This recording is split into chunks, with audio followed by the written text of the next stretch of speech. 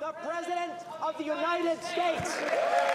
To Capitol Hill for his sixth and penultimate State of the Union, but speaking for the first time before a Republican Congress.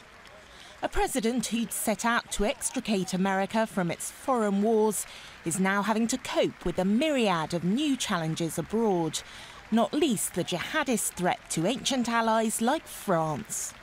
We will continue to hunt down terrorists and dismantle their networks, and we reserve the right to act unilaterally, as we have done relentlessly since I took office, to take out terrorists who pose a direct threat to us and our allies.